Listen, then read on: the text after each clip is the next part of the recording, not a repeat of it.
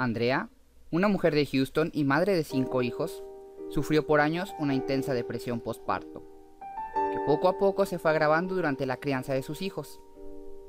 Pensamientos suicidas y odio a sí misma eran lo que rondaba por la cabeza de Andrea, ya que sufría de bulimia y de una inseguridad que la tenía sofocada.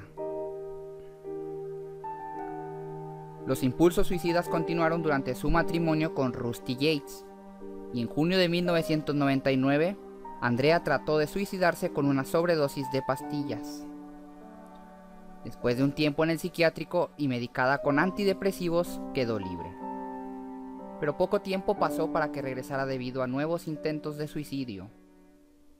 En julio, ella tuvo un ataque de nervios y trató de suicidarse dos veces más. Después de esto fue diagnosticada con psicosis postparto. Las constantes hospitalizaciones y automutilaciones terminaron el día 20 de junio del 2001, cuando Andrea logró por fin su cometido, no sin antes haber matado a sus cinco hijos. Todo esto sucedió debido a que su esposo ignoró las órdenes del doctor de mantenerla vigilada en todo momento. Andrea ahogó a sus cinco hijos de entre seis meses y siete años en la bañera.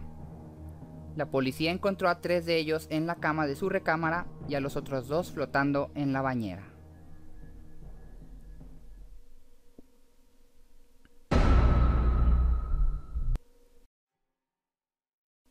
Se le conoce como la noche de la muerte oficial de la década de los 60.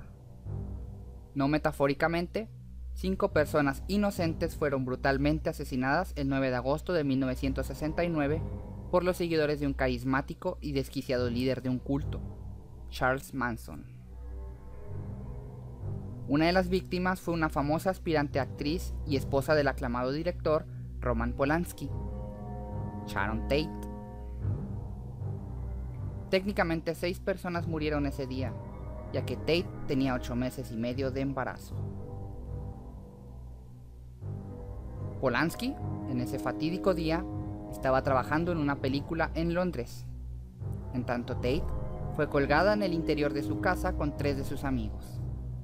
La quinta víctima fue un conductor que nada tenía que ver, pero desafortunadamente iba cabalgando por la propiedad al momento de que los asesinos llegaban a ella.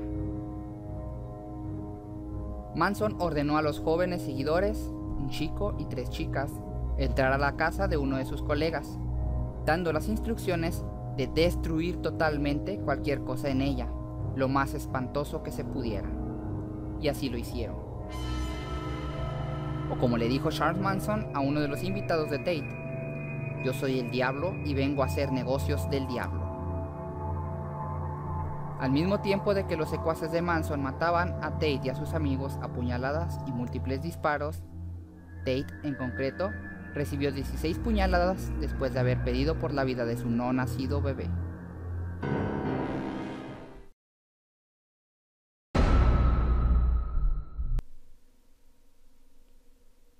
Dean Arnold Core fue afectuosamente conocido como Candyman ya que su familia era dueña de una dulcería y él regalaba dulces.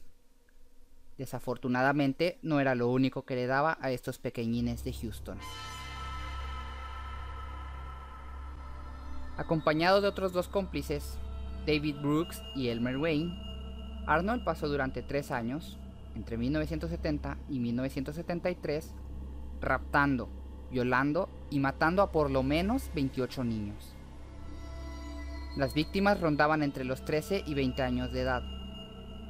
Arnold convencía a los pequeñines de subirse en su van, diciéndoles que los llevaría a una fiesta o que él les daría un aventón a sus casas. Si ellos se resistían, él los agarraba y les colocaba unas esposas a la fuerza, e incluso les daba drogas de fuerza. Algunas veces el hombre hacía que los chicos llamaran a sus padres para decirles que estaban bien y que no se preocuparan. El método que utilizaba este hombre para matar a sus víctimas era estrangulándolos o disparándoles con una pistola calibre 22. Sus cuerpos eran envueltos en plástico y enterrados en algún lugar.